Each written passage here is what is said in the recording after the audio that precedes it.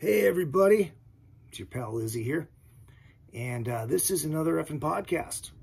Metal Edge Magazine's another effing podcast. I haven't done one of these intros in a while.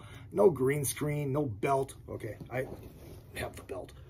But tonight, I am joined by Todd La Torre of Queensryche.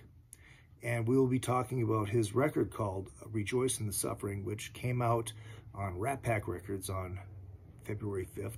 I highly suggest you all go buy it because it is fucking amazing. If you're a metal fan, you will love it. Oh, we get into so much great stuff. Old school 80s stuff that we love, cruise stories, uh, talking about our interactions with these artists that we grew up with, that we now know and are friends with, and dive into the Queensryche stuff a lot. And it's very, very interesting. And then we get into the new record, obviously. Um, but the reason I wanted to do this is because at the end of the show, there will be some bonus content. During the show, we talk about an interview that I did with Queensryche right before their first gig ever as Queensryche with Todd as the singer. And I found the interview. So, at the end of the show, stay tuned afterwards because you will be able to hear the interview that I did with them. Their very, I think it was their very first interview with Todd as the lead singer of Queensryche from my Rockin' 101 days in St. Cloud, Minnesota. So sit back, enjoy. Oh, there's so much great stuff in this. Enjoy this. It's just a couple music geeks talking about music. And that's what we love, right? It is Metal Edge Magazine's another fucking podcast. Hi, this is Bobby Brown, and welcome to another fucking podcast. My liver's all twisted up. But you know what I did? I loaded up with alcohol, more specifically vodka, whiskey, beer, tequila, more beer, more vodka, more whiskey, and more beer. Who wants an orange whip? Orange whip? Orange whip? Three orange whips. So you're bored, are ya?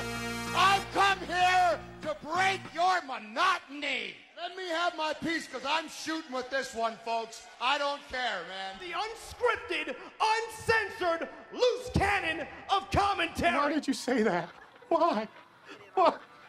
You come out with stink like that? Poop. Your poop mouth. You poop out of your mouth. See, son? Old legends never die. They just lose weight. Like a legend and an out-of-work bum look a lot alike, Daddy.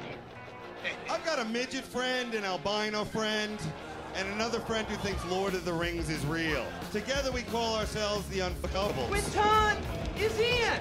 Let the fun begin. Body touch. God, you're an asshole, man. I've never heard of Van Halen. Hello, Hollywood. Hello, world. Hello, my loyal minions. It is good to see you, and it's always good to be seen. My name is Izzy Presley, and this is Metal Edge Magazine's another fucking podcast. Good to be back one on one this evening. I got Todd La Torre from Queensryche joining me. Uh, get to him in just one second. Paul Gargano will be back eventually. He is uh, currently um, um, uh, scheduling conflict again this week, so hopefully, maybe he should be back next week. And uh, make sure you guys hit up all the social media at Real Izzy Presley all the way across the board Twitter, Instagram, Facebook. And of course, the show page is another effing podcast. Um, and if you are listening live on the Spreaker, feel free to chime in the chat room. That will be roll. It is rolling. So anytime anybody gets in there and people can pop in and say hi, and you can also hit me on Twitter and I can answer, we can answer questions there as well at Real Izzy Presley. Uh, next week, for sure, I have Joel Hoekstra from Whitesnake coming on, talking about his brand new record and working on one more guest for that. And um, I think that's all I got.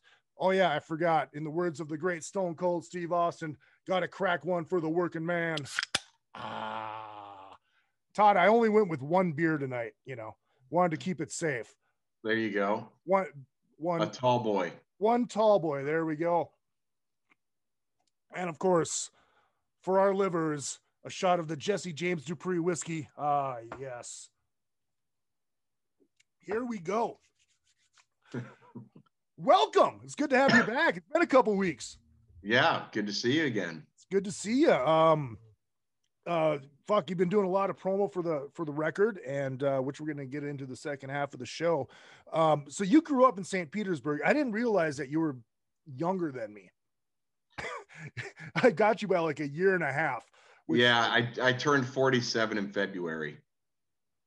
how um growing up in that area and i know i know um tampa st pete's like famous for having a like a really huge like metal scene how young did you fall into that scene Um, well, I mean the death, the death metal, you know, that whole scene coming up here um, with bands like Atheist, Death, Obituary, etc.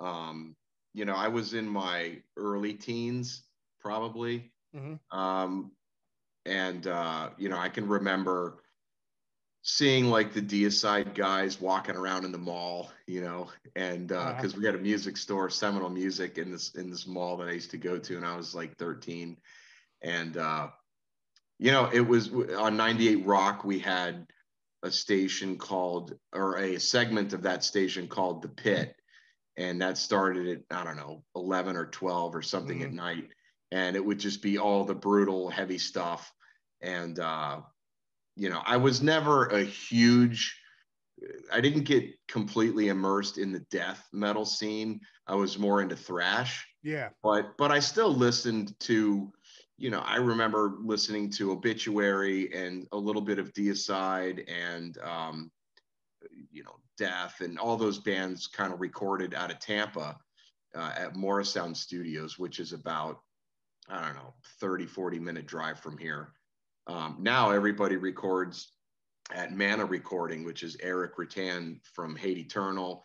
He now plays guitar in Cannibal Corpse. So all those guys, um, you know, record out of there, and they're like a 20 minute ride from here. So it's it's still there's still a scene down here for for the death stuff, and um, Tampa is always, you know, kind is kind of a good town for for more of the heavy metal stuff. Savatage is from here. Mhm. Crimson Glory is right over the Skyway Bridge from Sarasota. So, you know, we still we've got uh, some notable acts that have come out of this area. Did you uh i mean was it a natural progression did you like start on like van halen and then the 80s you know the the the, the glam rock of the 80s and like naturally progress into the heavy stuff Correct. Yeah, I I listened to. Um, I remember the first time I heard Dokken, and it, it was probably Dream Warrior or something. It is, you know, Uh-huh. gotta gotta g- g- g- get, and I, I never really heard that chugging on the low E, right? And I was like, wow, that sounds so cool. And at 13, I had purchased my first like good electric guitar. It, I still have it. It's a USA BC Rich crackle finish. It's really Nice. pretty. Yeah, it has the fact the original DiMarzio's in it. nice Um, but uh, I started learning, you know, rhythms for Dokken, and so I was listening to Dokken and Ratt and like Mechanical Resonance from Tesla, and that was like my thing. Um, and then I there was a local uh, TV station here called V32, and they played. It wasn't like MTV. It was like a lower budgeted local thing, but they played videos, and that's the first time I had seen um, Testament from the New Order, Mhm. and uh, you know Madhouse from Anthrax, and um, let's see Helloween, and and once I heard when I heard Testament, I was like, oh, okay, I didn't know that existed. right There, there's a whole. This is like way heavier, and I, I'm loving this in a whole i don't know if i would say more but in a different way in fact i was doing work out in the garage today and i had uh, the whole reach for the sky uh, from Ratt album playing nice and so lots of times you know i'll i'll just put on i still listen to back for the attack in full and mechanical resonance and all that, the great radio controversy. I so those bands are still very dear to me. Um, but once I started getting into Testament, then I started going into that direction and and listening to Overkill, you know, like uh, in union we stand, you know, off of uh, Mhm. taking over.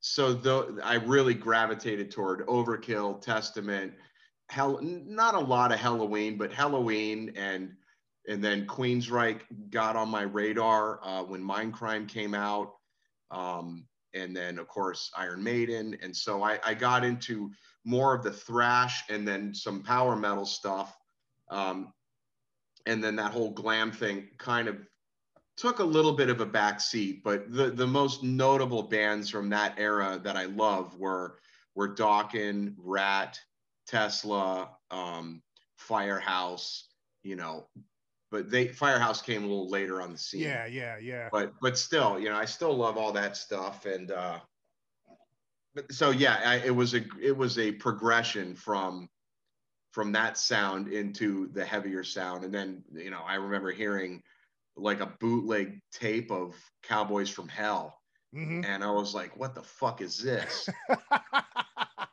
you know it was Yeah. it was just like god damn it was so cool because nobody was vocalizing like phil then Right. now e- everybody tries to do that everybody does that Mhm. and you know he just and, and then he also had like some high screams where he was singing like heresy and stuff like that Mhm. and really metal sounding shit like Well, shit, was, like even like even at the the end of the song "Cowboys from Hell" when he starts doing that progression thing.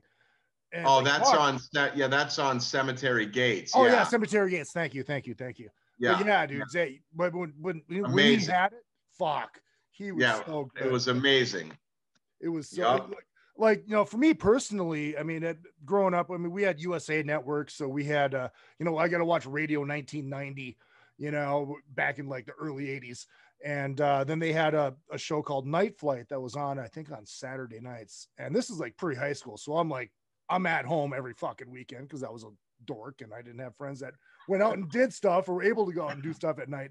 Um, but I mean, I remember fucking seeing Motorhead, uh, Ace of Spades. And I'm just like, Yeah. I didn't understand it. I mean, I was so young. I'm like, I, I don't, yeah this, it, this guy's ugly as fuck. What is, what is this? You know, and it didn't, it didn't really hit me until later. I mean, I think for me, what it was was the Monsters Rock tour, which was my first like big boy show. Me Van too. Halen, Scorpions, Doc, and Metallica, Kingdom Yeah. Come, and a lot of people aren't might not know this, but I mean that was right before Justice came out. Like Yeah. it ended like a month before Justice came out, and that's what put Metallica on my radar.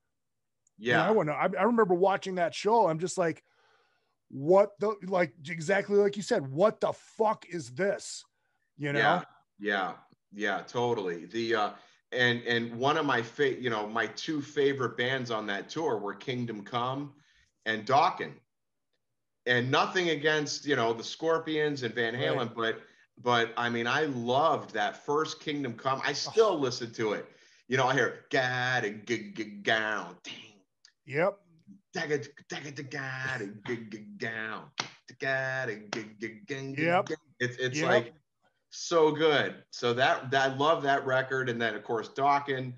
But that was my first. I went. with My sister used to date this guy named Shane, and he was. Uh, I really admired him and looked up to him. He was. Uh, well, my sister's a few years older than me, so when I was a freshman, uh, she was. They were seniors, Mhm. and he he had you know the cool chrome, uh, you know pearl kit. Was it a pearl kit?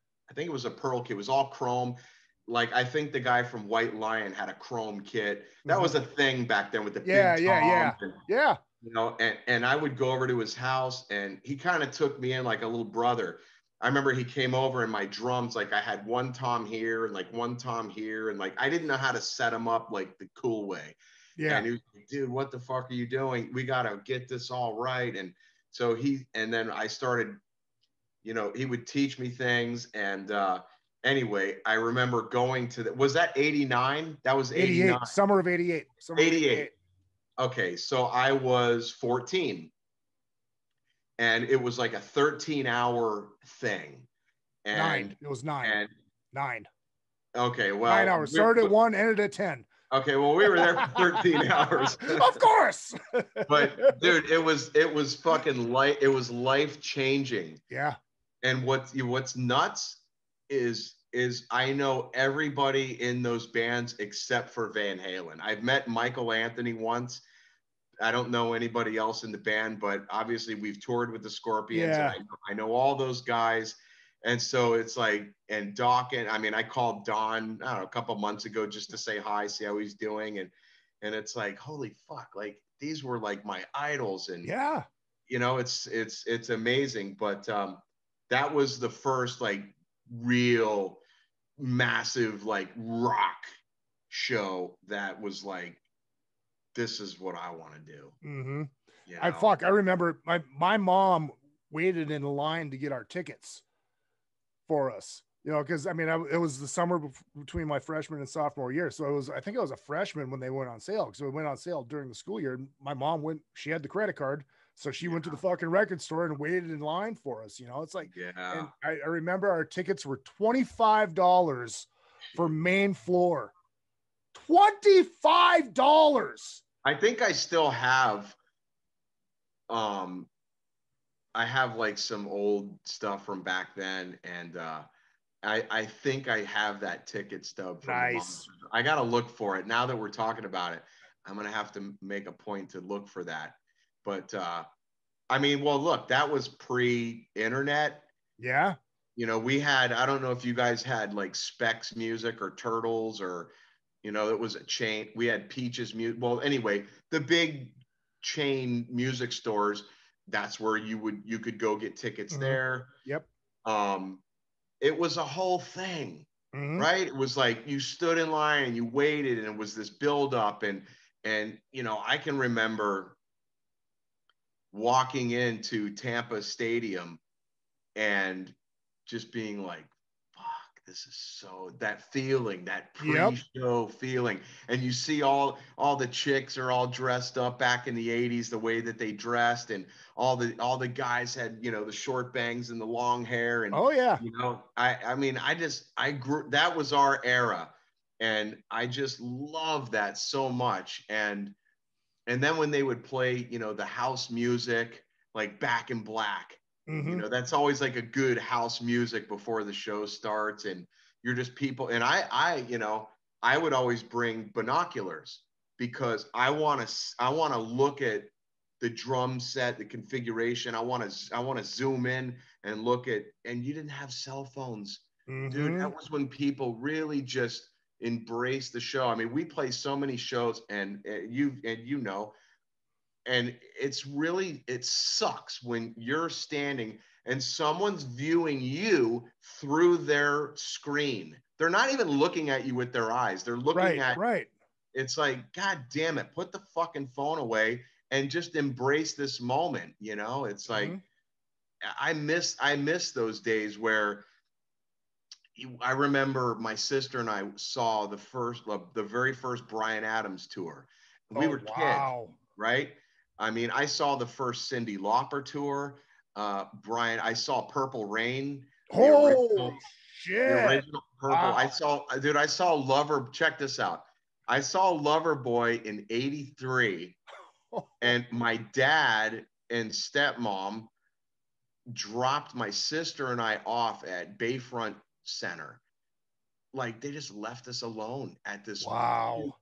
Like that shit would never fly No. now and people are smoking weed and i was like oh my god like this is you know it was kind of scary at 9 Mm-hmm. but we walked in and i loved loverboy and we watched the so my first like real concert was loverboy at, at nine years old and then they picked us up after the concert but my sister and i we were just the two of us in this massive you know like arena type show and um and uh fuck there was oh i know what i was gonna say so we saw Bryan Adams and as we were leaving the tour bus was backed up and and and he went into the bus and then he opened there was a slider window he opened he stuck his head out and he was like waving we were kids and we were like Yeah. oh my god this is so like you caught a glimpse of him closer now everybody's like Todd's a fucking dick. He didn't stop and talk to me when he was, you know, going to the bus. And it's like, dude, I, I, I gotta eat. I gotta clean up. I gotta go to bed. Like,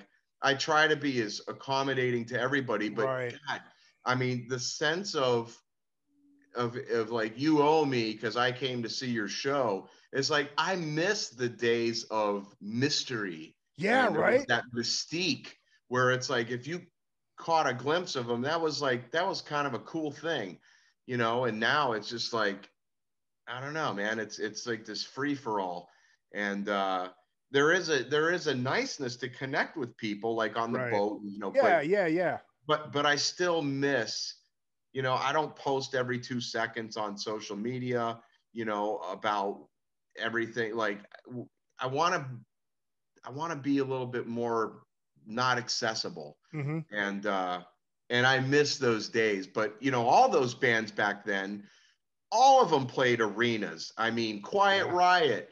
They, they all sold out arenas. Big. These were big shows. I remember seeing Queensryche sell out Bayfront. I saw Ratt on the Detonator tour sell that place out. Um, you know, everybody, right? It was like you saw them in the clubs in LA, and before they were like explosive.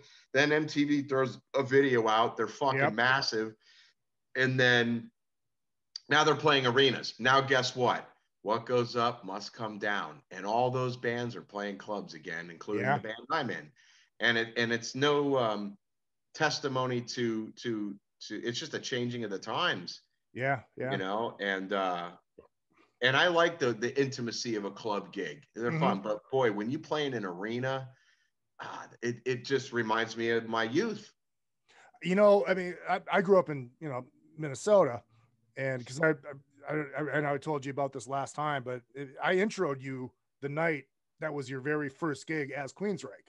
oh you did that was the halfway jam and i sang, halfway I sang jam. like i sang like shit Oh, dude, get the fuck out of here! I was floored. It was Nah, I. I cringe i cringe at that but I mean, like, so I and I went to par- parochial school, and we had this thing. Um, um, it was like all the all the grade schools fed into the high school, which was Cathedral, and there was like other there was like public high school school, but I went to the the Catholic school, and we had this fundraiser every year because it was a Catholic private school called Rock Around the Clock, and it was put on by Bobby Vee because he sent his kids to Cathedral, yada yada yada. And you remember Bobby Vee, you know, take good care of my baby from the like that yeah you if you heard it you know it oh he's hmm. the guy that uh the night that buddy holly died he filled in for him wow and that's how he got his break Mm. um so we the thing was called rock around the clock and it was all 50s and 60s acts that came in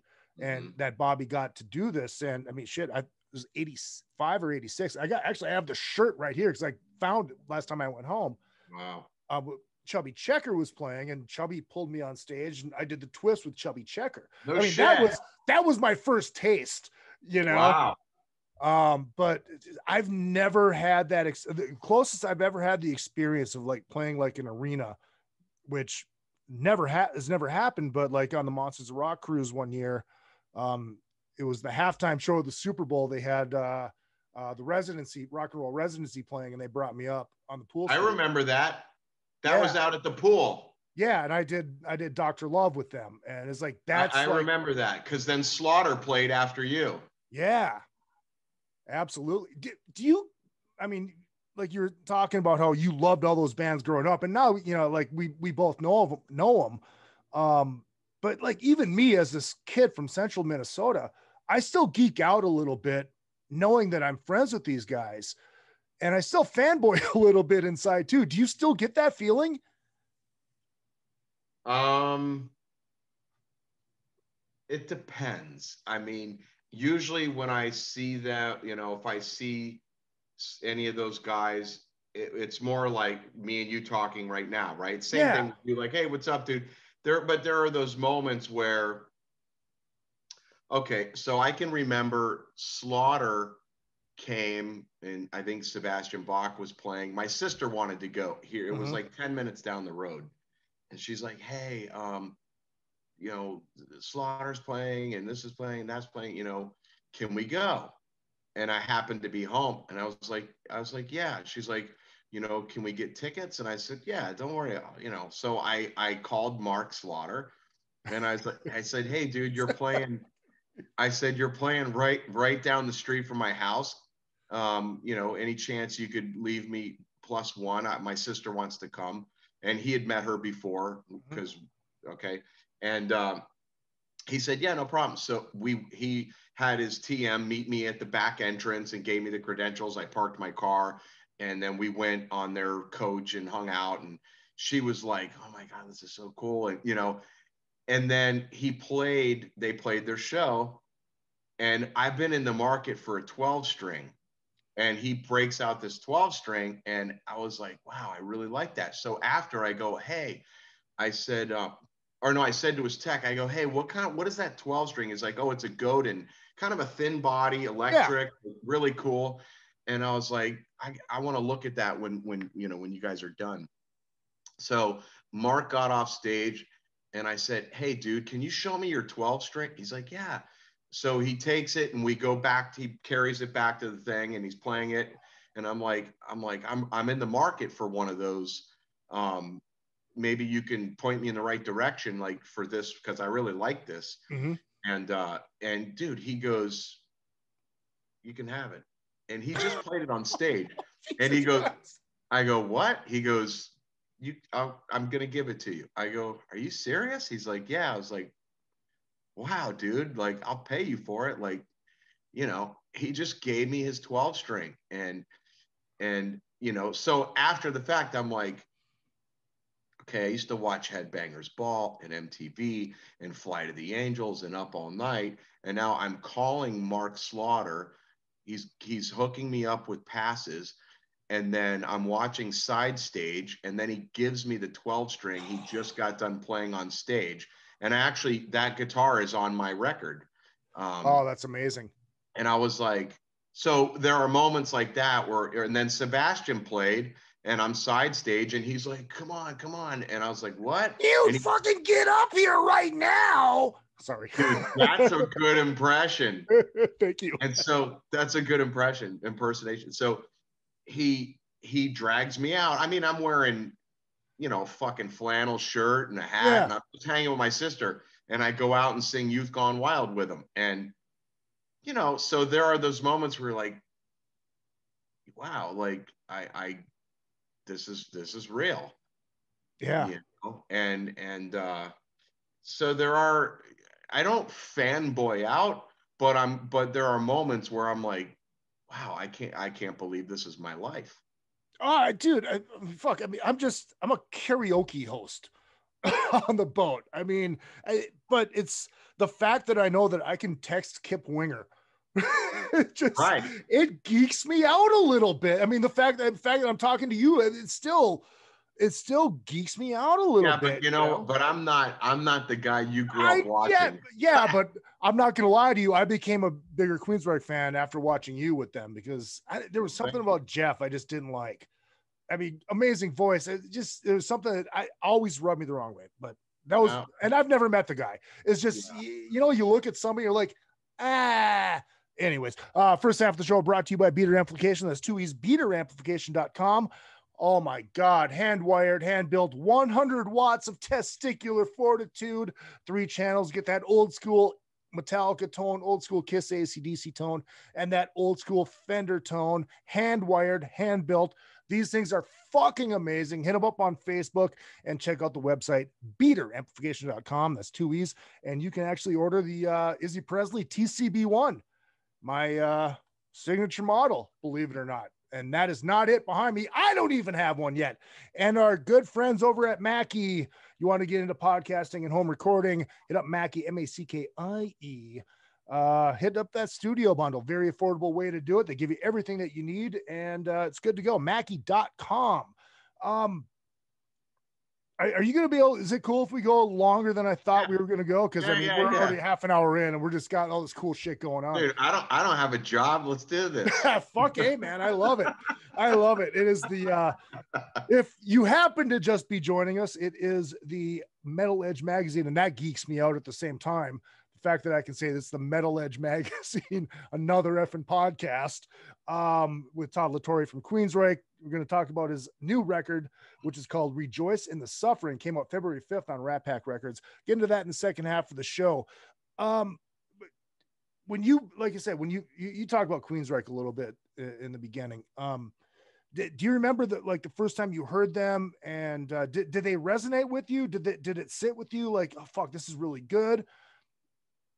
Yeah. So, so going back to my friend Shane, he handed me, he's like, dude, you got to check this band out. And I was like, I was like, okay. And he hands me the cassette and it's Operation Mindcrime. I'm like, okay.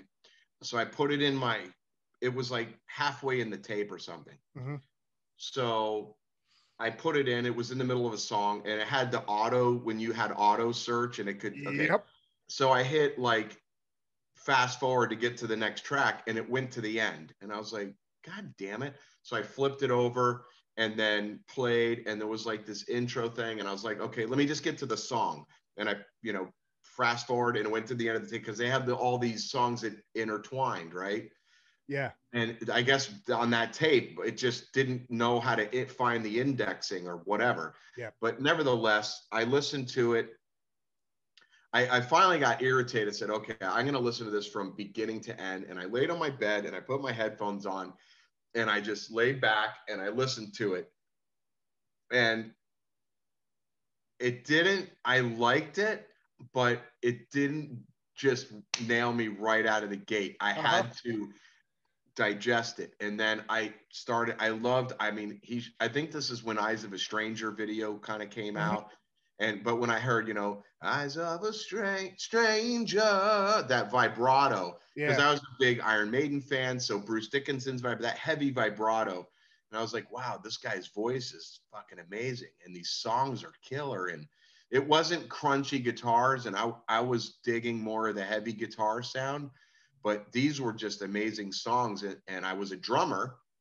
So you know i really enjoyed uh, try, learning the drum parts and that yeah. sort of thing um, and then once i really started digging that i remember going to the music store going to the q section and there was queensryche and all they had available was the warning in a cd mm-hmm. so i bought the warning cd and then I brought it home and I played that. And then I remember turning 16 and got my car, and that I had the tape deck taken out and a CD player put in. And that CD lived in my car for probably six solid months. I never wow. took it out. Wow. Never, took, I never took it out. I know every nook and cranny of that thing and and then I was learning, you know, was learning the drums. Uh, sorry, I took it out and brought put it inside, and I played so drums, drums, and I would put it back in the car, and I was trying to learn the drum parts. Um, but then I became a massive. That's my favorite Queensryche record, "The Warning" over Mindcrime. Mm-hmm. Um, and and so I started going backwards and and digging that. And then when Empire came out, I mean the the the the sonic sweetness and fidelity of that record was unlike anything anybody put out. Mm-hmm. And uh, a lot of car stereos. I remember it uh, back then in my vet, I had, you know, four four tens and you know all the amps oh, yeah. like oh, it was yeah all, yeah all that stuff and so you know hearing songs like della brown off of empire it's a doom doo doo doo doom do you had all these frequencies then the the swelling the you had all the the frequencies happening and that was a cd that a lot of stereo shops tested sound systems with in, in car audio because it, it just had everything. And even had like some some low sub drop almost frequencies um, and so i loved that record but I always liked the heavier stuff from Queens, yeah. That they did in the earlier days. Um, so yeah, Queens. I became a, a really big Queen's Queensryche fan. I played in in bands and we covered um, Eyes of a Stranger. We covered I Don't Believe in Love. I, I was a drummer. Um, yeah. And so they were. Yeah, I was a big fan. But I only saw them when they were really huge. I saw them one time and then I had seen them on their 30th anniversary tour.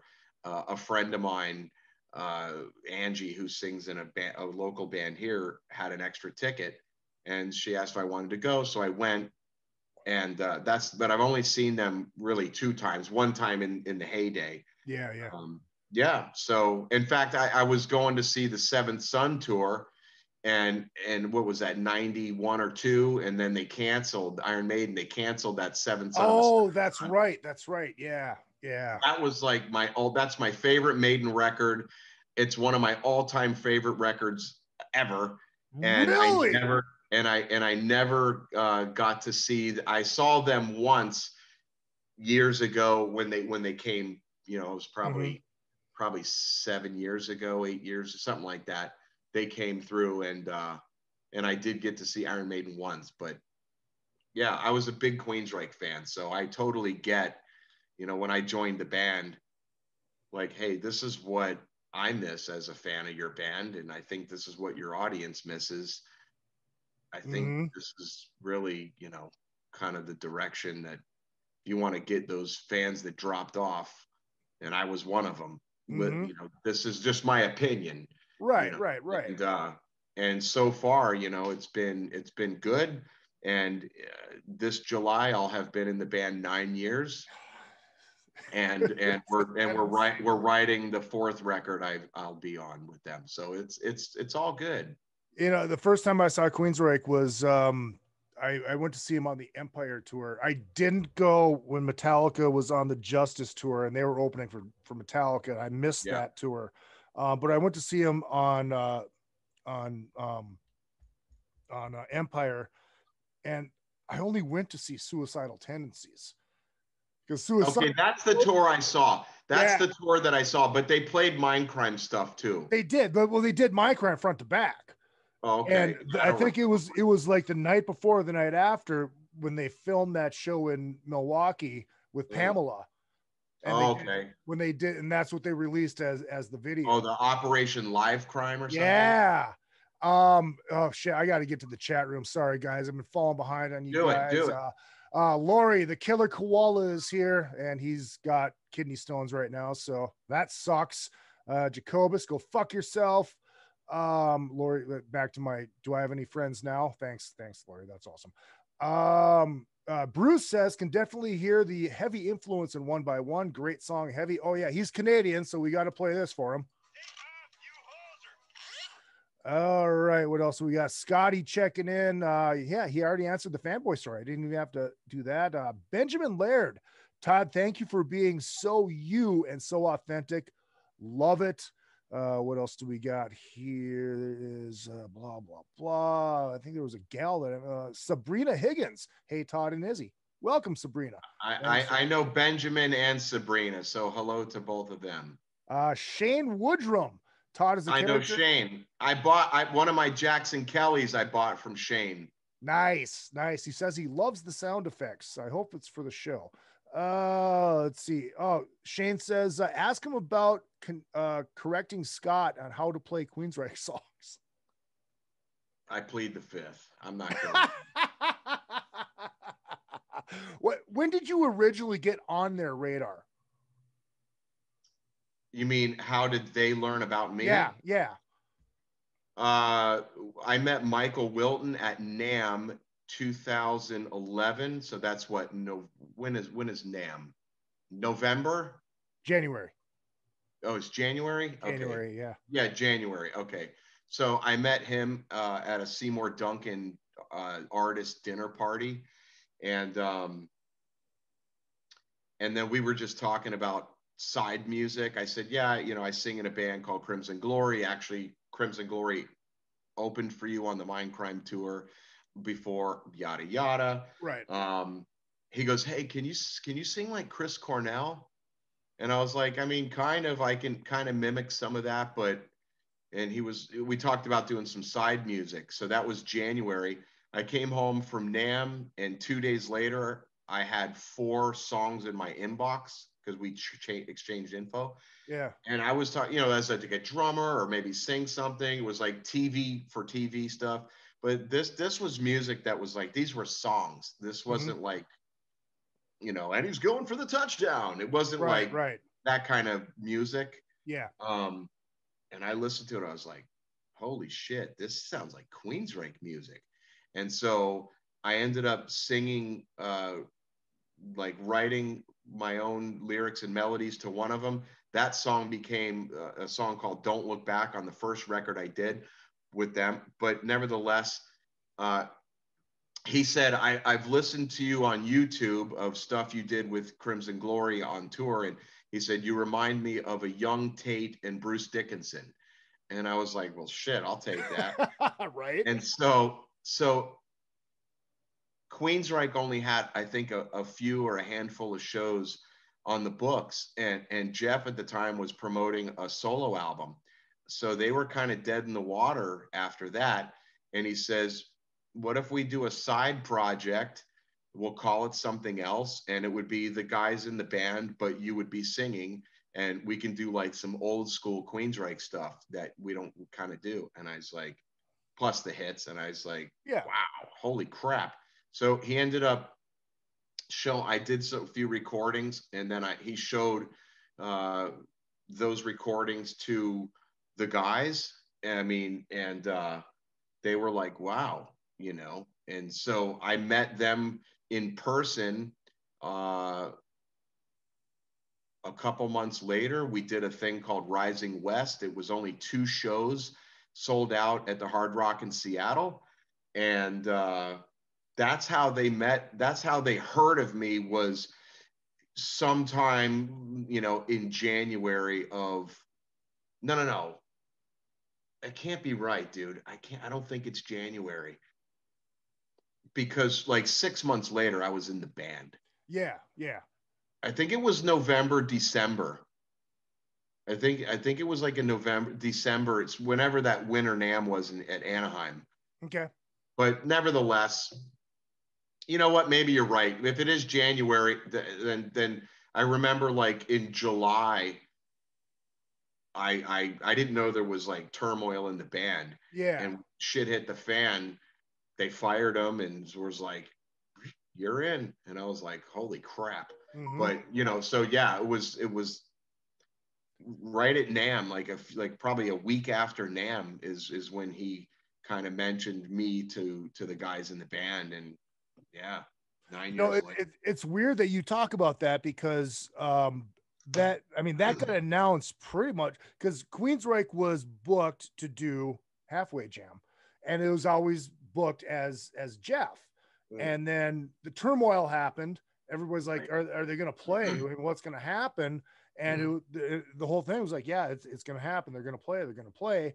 And then all of a sudden, Geoff's fired. It's done. And then you guys got the name, Uh, but I don't think that the legal th- shit happened until after. after Actually, no. yeah Was it? Was it after? I actually, I think you guys. it, it was uh, it was i think it was after because that whole legal thing was pretty drawn out for a while Yeah, yeah. and but- uh yeah but because before before that show you were only doing shows as the the cover version of it with with the guys yeah rising west there was only Rising two West. gigs yeah we only Yeah. did two and Yeah.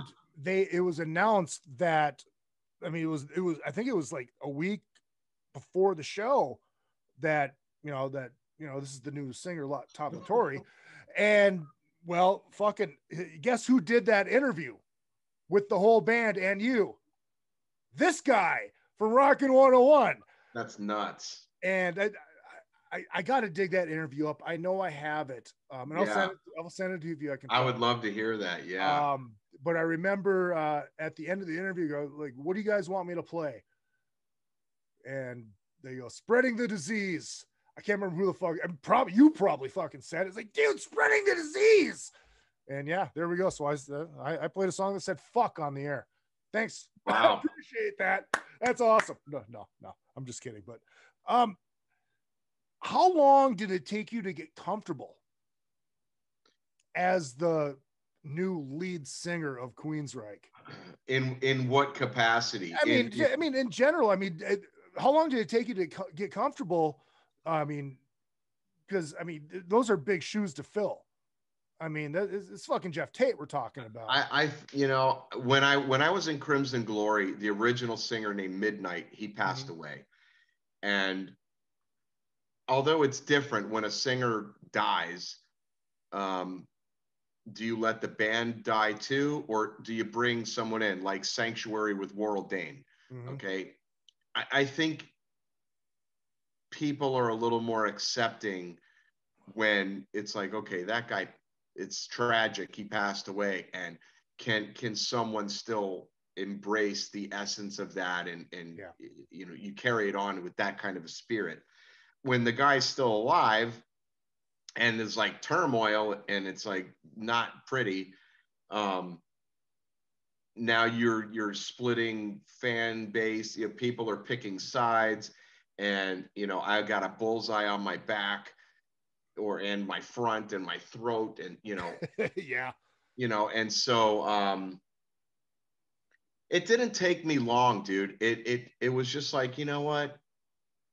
I'm just going to do what i do and it'll stand on its own merit. And and i remember saying they were like you know do you want us to tune down? I was like hell no. I said we're not tuning down dude we we are we're going to play like the songs really go Right. and and we still do that you know and Wait, at hold on, hold on. Were they tuning down before you came in? yes yes yeah it's so- a half a step sometimes even a whole step Yeah. so you know Which is okay. I mean, that's okay look, that's okay totally but okay. that's okay but i was like I, I can do this we're gonna play in the standard tuning and if i have trouble let me work on it and come up to you. Don't you come down to me. Holy shit. yeah and so so um you know and and and and really going for those notes that Geoff wasn't going for. Hmm and and i think people were like damn he's hitting those notes. And we that's what we miss. And and also you, you were you were commenting i mean i don't i don't want to like throw sound bites out that are going to be No, no, that's not what I meant. That's not what no, I. I, I know, I, I know you're not, but but we know who. Yeah. You know, there are p- people that do that. Yeah. but my yeah, point, but my point is, um, when that worked to my advantage to be able to to sing in the register, but I understand what you're talking about about the the theatrics and the movement. Mhm. Um, for me, I, I I liked that presence that he had, but but there's a another part of me that made me feel as a viewer that it wasn't that it was like they were the backing band to this one person Mhm. and and it you know and and i always want the band to be i want the visual to be like we're all equal together Right. and I want I don't want to try to overshadow anybody in the band. Like I joined your band and I'm I'm here as a team player and nothing I do is is contrived. Um I like theatrics, but they have to be genuine from my soul. Right. I'm not going to repeat movements that are like an actor that you see happen sometimes. And so I'm just a fucking headbanger, dude. And some people, some people don't like it, and some people do like it. And Mhm. I'm just me. But I, I, it didn't take me long. I mean, I remember the first tour we ever did. I got a really bad sinus infection, and like I started singing like crap that first night, and then this, the second show was canceled, and I was like, oh my god, I just got in the band, and now the band's probably looking at me like, did we make the right choice? And I was uh, that real. I mean, I was almost crying in my in my hotel room. That kind of pressure. Yeah. It was. It it was. I want to make the band proud Yeah. first. Okay. After I had maybe a dozen shows under my belt, I was like, okay, I, I'm I can handle this. And I'm always gonna be compared. I'm I'm never gonna be the original guy. But you know what?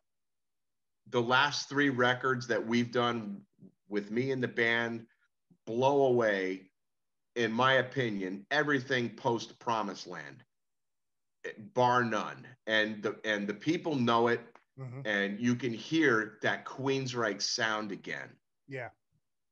You know, and and and I do try to sing those old songs in that spirit. I do, yeah, I do a few things my way, but but I I really do try to honor that.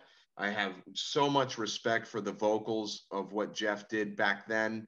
Um, and uh, I don't get nervous about that anymore. I mean, people, some people will come up to me after a show and they'll be like, "Hey, dude, I owe you an apology," and I'll be like, "What do you mean?" They'll say, "I came here to prove to my to to to know that that you were not that good." And I have to be honest, that show blew me away. And I'm like, listen, man, all I all that we really kind of ask is just give it an honest chance without Yeah. your biases. Just give it an honest listen. If you think I suck as a singer after you've really listened, then you have that right. Yeah. But to just slam me because I'm not that guy, Yeah. I mean, if you took if you took vocals from the original recordings and pumped it through the PA and I lip synced it and it was it was the real recordings from back then, they would say I still sucked. Right. And you know, because I'm Right. just not that guy. Yeah. But uh, I have good nights and I have bad nights, and uh, you know now it's like, but it, it I would say it took me a good dozen, maybe 20 song, uh, 20 shows at the most.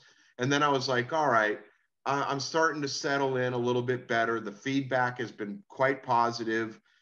I know I did a good job. I know I have to improve here. I know I struggled there. My tone is weird here. Let me work on these things. And it becomes muscle memory Yeah.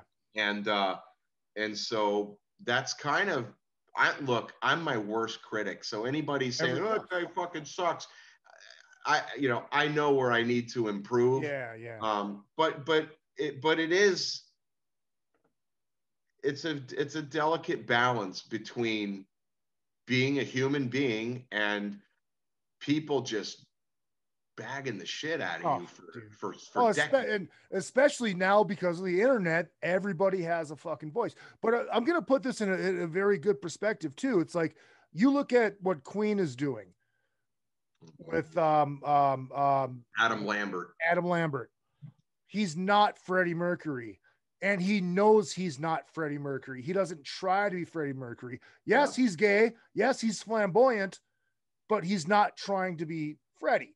But he sings those songs very well. And I think that's a, a like it's just like what you're trying to do. Well, yeah, and you know the interesting thing is, um, some people will say, like when I put my record out, some people will say, "Aha, that's what he sings like," and it's like, yeah, but I got ten different voices on this record. Right. I just sing whatever the music makes me feel like. So I'm sorry, I'm not a one trick pony. I can sing different things with different textures, right?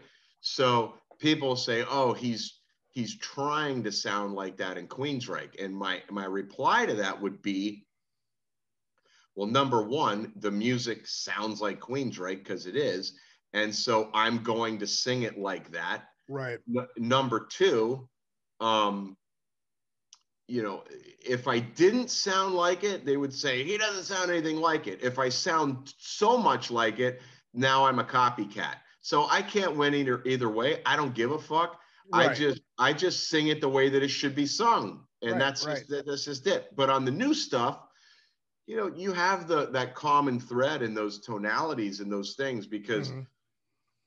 physically i just have a makeup of my bone structure and my face and my voice and everything else to be able to to sound like that Right, right, right. And actually, that's actually what I was going to ask you about. I mean, right before we go to break, so we can come back and talk about the new record, which is why we're here. But I still love. I mean, No, this is I all good. These stories. Um, I mean, so going like the last three records that you did with Queensryche, um, I mean, is is that mentality there? It's like, well, I I have to sing like this because it's Queensryche. i mean look th- there's a part of that for sure because if I if I sing like uh, Rob Halford, it just it's not appropriate. Right. You know, there there is a sound that needs to be present in Queen's Queensryche's music, and um, you know, a band a band like like Anthrax could get away with it, where John Bush comes in, he doesn't sound anything like Belladonna, and it just worked. But I think that Queensryche was so had such a, a, an identifiable vocal sound that man if you if you go so far away from that i just don't see that maintaining that that that sound. And so but again all all of those all of those that's craig calling me all of those um those little crying inflections like that stuff i do like on the song vexed Mhm. on my record, the intro is exactly how I would approach a Queensryche song. Mhm. And so that acoustic guitar that Craig plays, that made me feel in that headspace. So I give that kind of delivery.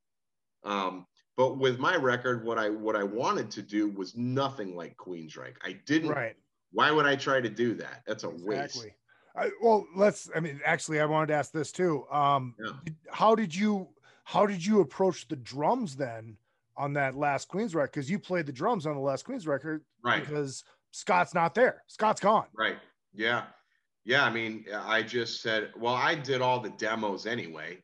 Mhm. And I did a ton of the demos on Condition Human too, um, you know, when we were writing them. And so when it came time to do that, I'm just like, okay, I'm gonna I'm gonna drum like I'm gonna put thing I, I'm gonna do what I think sounds like a Queensryche drum part. You know, whether it's the hi-hat work or the the, the, the double chinas and some of the fills, you know, the the drum work that you hear on on my record is not the footwork and all that is not Right. what you hear because it's just not it's a different Exactly. animal. Exactly. But I mean, obviously, I would say, okay, there's only one Scott Rockenfield. The guy thinks extremely creatively, Mhm. And and it's you know, I'm not him, but Right. I know that I have the skills to execute the Queensryche material. How do I write drum parts that make sense, that complement the music without walking all over everything? I'm going to do a few fills that are mine that he would never do. Right. But I think that uh, overall, most people really liked the drumming and uh, it sounds appropriate. But yes, I did, I do, I did have to get into that headspace and say, you know, what would what would sound like something Scott might play here. Right. Right. And I think that's just that's just respecting the style and sound and feel of what Queensryche, in my opinion, ought to be. I, one more question before we go to break. This is from That's cool. Bruce in Canada. He goes, uh, "Do you think your story is similar to Ripper's?" Um, yes and no. Yes, in the sense that we both got to sing for a, a big band. Um, no, in the sense that I was never in a Queensryche tribute band, and I never sang in a band until I joined Crimson Glory in 2010. I was a drummer Mhm. and I, you know, and so in that aspect, uh, I would say it's it's very different, but certainly, you know, I sing for Queensryche. He ended up singing for Judas Priest, which is fucking massive. Right. Um, you know, parallels for sure, but different in the sense that I was never trying to be the singer of Queensryche. I Right. didn't sing in it, you know, it just happened. Yeah. All right, let's do this. Uh, let's go to break. Come back in two minutes and two seconds. Uh, got Todd La Torre from Queensryche, and we are going to be talking about his brand new solo record, which came out on February 5th, called Rejoice in the Suffering. It's on Rat Pak Records. I just actually ordered the cassette yesterday. I wasn't bullshitting when I said that. I'm fucking stoked. This is how weird it was yesterday. So I ordered your cassette, then I emailed you. Um, and then I had to learn a song last night. So I took my phone, connected it to my stereo, recorded a song on cassette that I have to learn for Wednesday, and learn the song playing it on cassette. Wow, old school. Fucking old school. Then, oh shit, I'm going to show you this too. This showed up in the mail today. This is from a friend. Uh, her name is uh, Taylor, and I I just posted this. This is fucking great. 24 fucking cassettes, and oh, God, there they are. This is this is what showed up in the fucking mail today. you got that? Yes. Dude, those are great. What's the first one? What is the hold on? What's the one next to Loverboy on the left? Uh, lo- oh, Cheap is- Trick. it's cheap trick. Fuck Okay, yes, cheap trick. DNR, Warrant. Here, let me get out. Oh, Steelheart, Journey, Pink Floyd. Yeah, Firehouse, Ratt, Ozzy, Van Yeah. Halen, Van Halen. Poison, Yeah. Quiet Riot, Def Leppard, the Lost. Boys soundtrack. Fuck yeah! All right. Anyways, so let's do this. We'll uh, we'll go to break. We'll be be right back with Todd La Torre. It is another fucking podcast, Metal Edge Magazines. Another fucking podcast. All right. Vinnie Tortorich here. Hey man, if you're a fan of Izzy, you might be a fan of me too. I'm the guy that gets people to lose a lot of weight. I have something free for you guys. This is no clickbait. Just go to vinnietortorich.com and there's a big banner. It's a free PDF, how to lose weight. It's an intro guide to NSNG at vinnietortorich.com. Go check it out exclusively for anyone who listens to Izzy Presley. Thank you. RockstarLeatherworks.com is your home for badass rock and roll gear. Featuring 100% handmade leather bands, watches, cuffs, bracelets, and more, Rockstar Leatherworks has something for everybody. Whether you are going to the show or you are in it, you can find something to fit your needs. Choose from a variety of designs or create your own masterpiece. Their bands and watches are second to none. They also ship internationally. Who needs a stage to be a rock star? Check out RockstarLeatherworks.com. Hey ladies, Sass Pants Designs will take that band shirt that everyone has and make it your own in a flattering, sassy, and simple way. There are one of a kind tank tops, halter tops, lace up tees, and tube top dresses already in stock. Check out the online store at sasspantsrocks.com and like Sass Pants Designs on Facebook, Instagram, and Twitter for special offers and custom orders. Use the code IZZY25 for 25% off of your entire order at sasspantsrocks.com. That's sasspantsrocks.com. Let Sass Pants make you the envy of the party. Rockwood Saloon Authentic Apparel takes rock and roll fashion to a new level.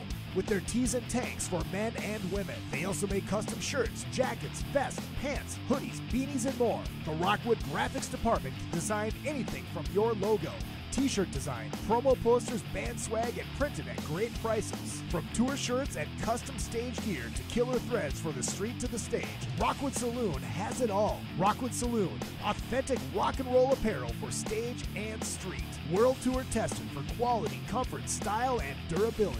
Check them out at www.rockwoodsaloon.com. That's rockwoodsaloon.com. A reading from the book of Gene, chapter Lick It Up, verse fits like a glove. Ain't a cardinal sin. Baby, let me in. Girl, I'm gonna treat you right. Well, goodness sakes, my snake's alive, and it's ready to bite. Praise be to Gene. Oh, it just never gets old. Oh, thank you, Mike Dawson from Adam Carolla. Oh, speaking of that, um, uh, not Mike, but uh, I will be in Nashville this summer in August for the Rockin' Pod Expo, representing not only this show but the Monsters of Rock cruise. So uh, very very excited about that. Second half of the show brought to you by AP Laser. Hit them up aplaser.com. Uh, you need something laser engraved, something special. Because you know we got graduations coming up, even though nobody went to school this year. Um, and uh, Mother's Day is coming up. We got fucking Father's Day, anything. Hit them up, aplaser.com. And Oz from AP Laser is almost recovered. He had a stroke. He is doing much, much better. Um, and he's my age, which is really kind of scary. But uh, shout out to Oz. Feel better, buddy. And then uh, once he's back rolling, we can get these fucking roadie packs rolling again that have the tumbler, they have the flask, they have the Zippo type lighter and the dog tag. all that says another effing podcast on it. And you can have them personalized because, hey, it's fucking laser engraving, baby. They can do whatever they want. And our good friend John Palumbo, johnpalumbodesign.com. You have a band, you have a business, you need a website done, you need a logo. Hit up our good friend John Palumbo, johnpalumbodesign.com. Another Tampa guy. Do you know John? I don't know John. You don't? Oh, you should know John Palumbo. You would love John Palumbo. He used to be the uh, artist rep for Dean. Okay. Um, and he's he's a Tampa guy, and he, he I think he's playing a bunch of shows like acoustic shows around. You would love him. Super fucking nice guy. I, If you ever go meet him. the- I go to the factory there because I'm a I'm a uh, endorsed by ddrum, and they're out of the same building. Gotcha. So I'll go back and look at look at the guys that are building the new Dean guitars and stuff. But I, I mean, I might have met him, but I can't say that I know him. If you ever We met him, we got, he, a few, we got a few locals like uh, Troy uh, from Mastodon, the bassist. He lives uh, on Indian Rocks Beach. We've got um, the singer for Municipal Waste. He lives in Summit, like not far from here. So Mhm. we got a few guys in this area. and a whole lot of professional wrestlers. A lot of profession. In fact, um, my friend Barbara owns uh, Hulk Hogan's old house, the big mansion from the TV show. Really? Yeah, so so uh, when the guys fly down uh, next month, we're gonna stay there for ten days to do another songwriting session. So we'll Nice. be at, at Hulk Hogan's house for. Uh, that's fucking, that's awesome, brother. Do you, do you Yeah, need to I- borrow the do you need to borrow the belt? do you have a belt? Oh, there it is. Look at that. Such a fucking dork. I can't help. This is why I don't get to have sex. I remember tri- I was trick or treating, and I remember going up and knocking on this house, and Greg the Hammer Valentine answers. I was like, "Holy shit, dude! Like Greg the Hammer Valentine, he lives like two minutes down the street from me, and and I knew it was one of the, you know." Anyway, we knocked and we're like, you know, trick or treat candy, and he comes out. It was it was fucking Greg the Hammer Valentine. Oh shit, that is the greatest trick or treating story ever. Yeah, yeah. That is amazing. Uh, the brand new record's called Rejoice in the Suffering. It is on Rat Pak Records. It is uh, the link for Rat Pack and Todd's page is in the bio for this show. Um, Look at this. yeah, look at that cassette. I can't wait to get mine. It's still in the cellophane. Oh, look at that. I mean, how cool is that? oh, look at that. I cannot wait. I cannot wait me, for this. that was the coolest. That was the coolest thing because that's how we listened to music before CDs Yeah. came out. I, I'm gonna get another one that I'm actually gonna unwrap, but this one I'm not unwrapping. I love it.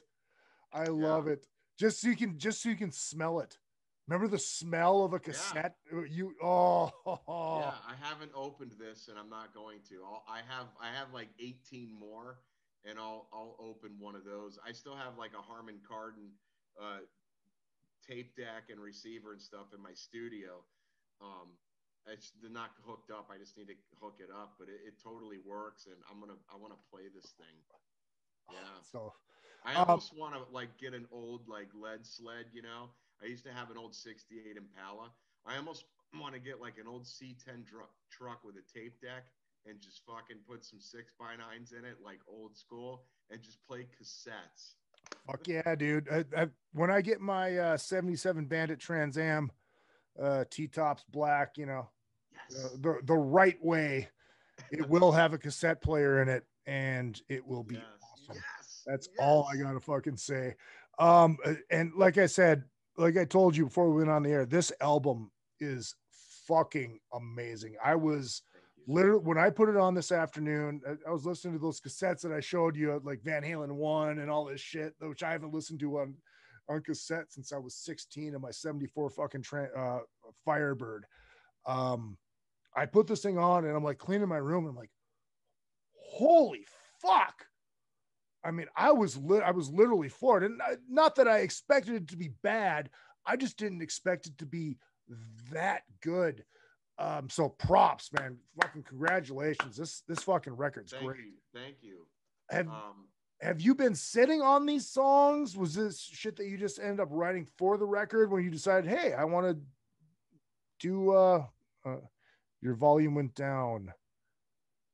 No, I still hear them.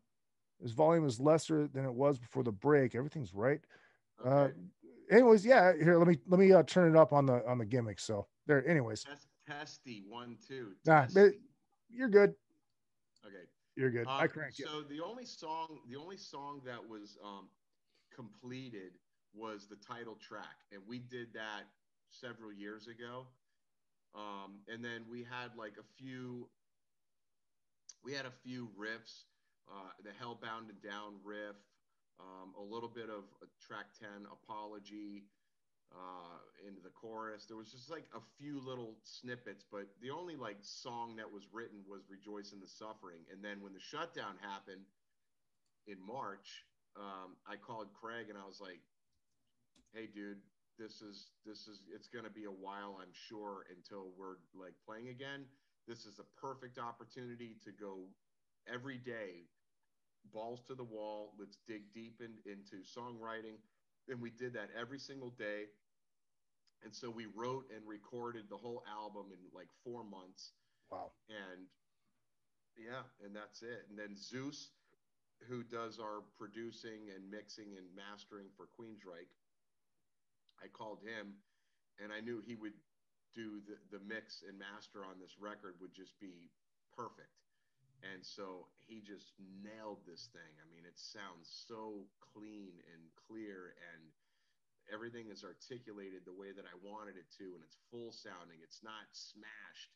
You know, it's got headroom and yeah, so we just we just buckled down and did that and we we shot uh, a few videos. We still have a few more videos we're going to release throughout the year. Most labels, you know, they'll put a record out and you know they'll release a, a lyric couple lyric videos a static and then maybe two legit video videos. And then that's it. The record's done. They don't work it anymore. They have a nice day. But we're going to work this the whole year with more videos and i've got some other cool content that we're going to do. So and the sales are are killer. I mean, it charted five or six positions on Billboard. Mhm. Uh, it's it's it's done really, really, really well. So I, I'm super thankful that people are checking it out and digging it, and uh, I think it's going to have legs and grow and continue to to to to do that. And hopefully, it'll be considered a classic. I mean, I want this to be revered as like my resurrection, like Yeah, yeah. is. That's what I want this record to be. I don't know what happened on your end, but your volume just shot up to where it was before. So beautiful. Okay. Well, we, oh, oh, Okay. it's all working, man. It's well, all you got the levels. You can see what it is. Yep, yep, yep. And I, uh, I just uh, lowered you back down to where you were, and we are fucking glorious. Okay. Um, uh, when you went into this, because I know you said you play guitar, and obviously you play drums. Like like Kotzen, when he records his shit, it's like it's he does it all himself because his thing is like, well, this is how I want it, and I know this is how it's going to come out if I do it. Was there part of you that wanted to go that route? Uh, Well, Craig and I did the whole thing together. So Mm-hmm. just two people wrote and recorded everything you hear on the record. Um, and I, I remember I, I sent uh, we sent a bundle to uh, to Chuck Billy and Alex Skolnick from Testament, and Alex uh, messaged me back and he's like, I, I can't believe just two guys did this whole thing. It Yeah. sounds like a full band, and uh, that was a nice compliment. But I did the drums and vocals, and Craig did the guitars and bass and some keyboards, and uh, we just think the same. So when he had a killer riff, I would hear it and I'd be like, "That's the that's money right there. Let's that's the riff. Let's move on. We'll we'll work on a pre-chorus and let's work on a on a chorus." So there wasn't a lot of tearing things apart and reworking them a bunch of times and tear, it was more like when I know something sounds good to my ears and then I listen to it over the next several days and it still resonates with me, I'm like, cool, it's good for me. And this is for me. This record is for me.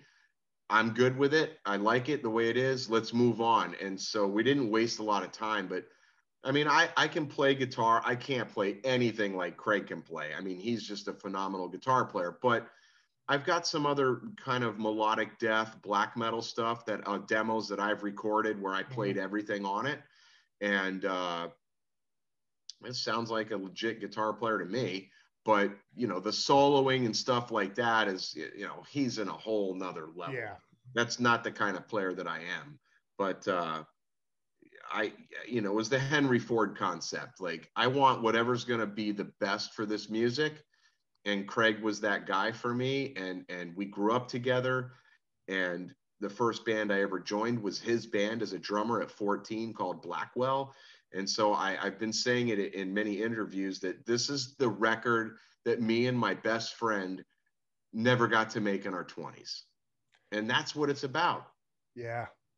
Because we wanted we wanted to make it. I mean, on Yeah. a Friday night, everybody else would be out in high school, like going to some party, and and you know, I was never a party guy. Craig Mhm. was never into that, and literally, like our band from school, we would all get together at one of one of our houses, and we would play guitar and we would look through Metal Edge magazine and we would wait for Headbangers Ball and Headbangers Ball would come on and we were like a gang and we were like we're going to fucking that's us. We're going to we're Yeah. going to be we're going to be like that and and and we believed it in every cell of our being and just you know the, the dice don't always roll your way. And the Right. band never got that break.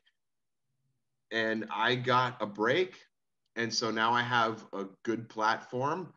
And so i said come on craig we're doing this. And i could have called other very famous guitar players and done that whole name thing. Yeah. and it was like no man this is this is this is me and you from 15 16 years old into our early 20s that's what this is. But now we're better we're more mature and i got a platform where people are all around the world can hear this.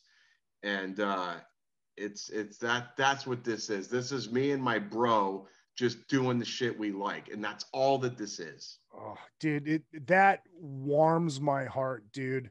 That really warms my fucking heart, and that that brings you know like me back to my my high school days. Yeah. You know, jamming with my friends in high school, and and it's funny because the last time I played back home, um, my drummer and my bass player showed up to the show, and it's like we got a picture for the first time together. that's so cool you know, and it's oh my god, dude, that is like the greatest fucking thing ever. It Yeah, really is. yeah. And I still, I still talk to like, I mean, we've had a couple bass players over the, those years, and I'm still in touch with them. And you know, they're just like, "Wow, dude, I can't believe watching you do this." Is it's almost like they're vicariously living through my experience. Yeah. But for me, if I can't share that with the people that I know appreciate it, um, then it just what's the point? And Right. so so I have like you know some people come out of the woodwork. So hey, dude, you know, blah blah blah. It's like yeah, whatever. But Mhm. there are there are those people that I try to hook up with tickets or passes, and and and and they're they're they're they're championing you know me because i'm a local guy that did good and that Yeah. whole thing but for me i'm still i'm still just that 18 year old metalhead that you know wants to make it. Mhm. but i mean I, I i i have but i don't take it for granted. And and uh it's definitely been it been an awesome experience. But again going back to the the, the point is is when i met crimson glory that was through my friend matt laporte who passed away. He was one of my very dear friends and he played for jon oliva's pain the guy from Savatage jon oliva okay trans-siberian orchestra all that. And uh, we did he gave me this little demo and i sang on it and it led introducing to these guys. My point is is is he opened up the doors for me and Yeah. then the other doors kept opening. And for craig it's like dude you're too good and you're you're you're too nice of a guy and a good person to not have me pay it forward to you. And that's all that it was is and and if people i'm hoping that it opens doors for other people to be like wow i love what he did on todd's record. Hey craig would you like to collaborate on something? Or we'll give you a guest solo spot. I want him to make those con- connections and contacts like i have Yeah. and and open up that world for him because but again this is he used to live here in my house. Um i bought this house when i was 21 years old. I Holy lived in the same i lived in the same little i live in a bungalow. It's a two bedroom one bath and and i it's just a great little cozy house. And uh i have a man cave from hell in the back. And uh and that's as big as my house. And um he he lived in the other spare bedroom. And i had i had a futon because i was like fuck a bed. I need drums to fit in here. And so so i had my drums and he had he had the big mesa boogies. And we would just we would just do our thing. We were the loud house on the street you know? But Yeah. there, there's a riff. Eh, actually there's two riffs that we wrote in like 96 7 and we always liked this and i was like hey dude you remember that uh that's the intro to track six called critical cynic. Okay. and i said we got to bring that into this record. That was so cool. So that's on it and then there's a part in vexed where it goes into this musical part, you know, uh, digga digga digga digga dan da dan da dan dan dan it's this kind of musical thing. We took that from what we wrote when we were like 22 or 3 and we brought that into this record. So there's two pieces that we wrote and it's note for note. Even the drums that I wrote where it's you know that good to get there's a backbeat on the snare. Everything exactly how i wrote my drums in 96 or whatever i played exactly like we did it back then on this record. So yeah Oh, dude it's- amazing. yeah. Oh my god, that uh, I'm, I'm tearing up. but it would be like you know one of your buddies that you were in a band making it and going izzy let's fucking do this That that's why I, I I'm I'm not lying. I have a tear in my eye right now. It's and that's not from laughing. That's from that this. to me that's what it's but that's what it's about yeah, dude. that's what Fuck it's about Yeah. Oh, Otherwise, it's just like then then it's just like okay, I, I got a big name. Like I could have done another record with somebody else, and it probably would have been great in its own right, but it wouldn't have been this record. And Craig and I have a chemistry where I know where he's going to go next most of the time. He and so it's it, we both love the same types of metal and the things about those saw those styles that resonate. And we're like you know what? We're going to write a metal record that encompasses a bunch of styles of metal that we love.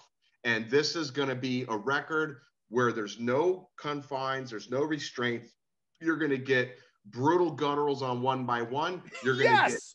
you're going to get Halford style vocals on Pretenders and Overkill on Vanguards, and you're going to get some of the Queensryche stuff on Vexed, and then you're going to get and all of this shit of what I want to do with my voice. I just want to do whatever I want to do, and that's what this record is. And I think people really like that. It gets to the next song, and they're like, "Well, goddamn, okay, that's that's a different." You don't know what you're going to get at, when you're hearing the record for the first time. Yeah. Well, and, and that, look, that's that's the reaction I was having, and I was like, literally, I was like, well, well wait a minute. Did, did he have a guest singer on this song? Because I didn't, I No. mean, I didn't look at the Wikipedia uh, until after when I, when I had to write down the name of the record, Yeah. just so I didn't sound like a fucking idiot and not Sure. have it in front of me because I'm I'm a brain fart, you know, I'm a, I'm an airhead. Um, but yeah, it's like there's parts like, is that Todd singing or is it, did he get? Uh, you're answering all my somebody else, questions. yeah. yeah. Yeah, somebody somebody texted me once. He goes, "How do you have a duet with yourself?" Because like on Darkened Majesty, it's like you know uh, that more shrill high singing, and then the chorus comes, colors flash and fade away, and it's more singy in the Queensryche Yeah. style. And so you do have this this thing, but when I listen to the record as an outsider, it doesn't sound like a bunch of different artists and bands as like a collab a, a collage of Mhm. different it sounds like one solid record Yeah, yeah. it just has a lot of different flavors of all kinds of metal from Pantera. You know, there's like Hellbound and Down has a cool southern, you know, wow.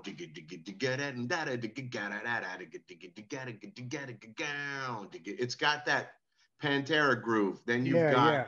Vanguards of the Dawn Wall that's like thrashy. Then you have Crossroads to Insanity, which is very clean and dark and atmospheric. And there, so there's just a lot of things happening that make it a fun listen to me. And Yeah. it's like shit that I miss hearing because now when I hear like heavy music, it's just a bunch of screaming Yep.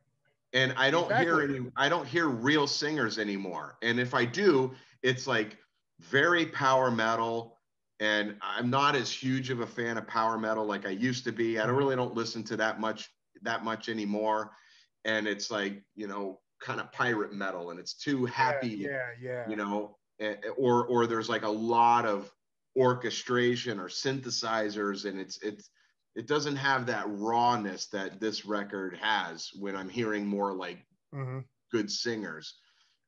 I, I like screaming once in a while, but I don't want to hear I don't want to hear it the whole time.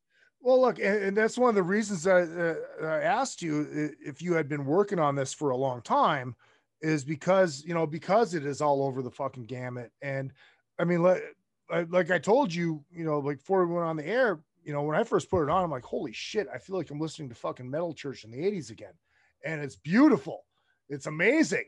Because that's the You shit know? I like. Yeah, And I, I just said, I don't care if it sounds dated. I mean, the production's modern, everything's modern, but I want that classic. Like, we're just going to write, this is just how we write. Okay. Yeah. Me and Craig write this way. So that's just what it ended up being. And, and we would send, you know, a new thing to Joe at the label, and he'd be like, fuck yeah, you know, give me more of that and then we would do another thing and another Mhm. thing and he was just like man every song you're sending me I, I i really like and he goes i don't i don't hear anyone putting out this this No. sounds this It's this true. doesn't sound like what anything else is being put out so maybe you know maybe that's uh, you know there there is some old school stuff on here but it Mhm. doesn't sound right, old right, just, right, right. shit that works, you know? You can't beat good downstroke. Like if you listen to like um I don't know, Master of Puppets, you know, that down picking or or or uh, you know, Harvester of Sorrow or some Mm-hmm. of these songs, you know, they're just like it- that that groove just works. And there's a lot of pocket on this record. You're not hearing blast beats. It's not Mm-hmm. Right. you know, it's it's uh, very musical and groovy. Yeah. Uh, uh, chat room really quick. Uh, Yeah. Let's see. Um, Jason Kane says, Me too. That makes this album 1,000 times better. Craig is killer. Uh, Lori says, Todd is such a beautiful person. Uh, looks like you have a new fan in Australia. He might want to hug you.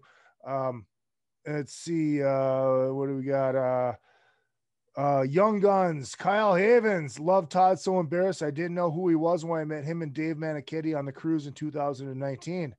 Well, you live and you learn. Uh, Sabrina says uh, this album has not left my CD player since I got it. The other day, I just drove around for an hour because I wanted to get lost in the music and Wow. escape for a while. Best therapy ever. That's awesome. Um, uh, Jason goes out. How Jason wants to know how the sales are going. If there's any updates on it.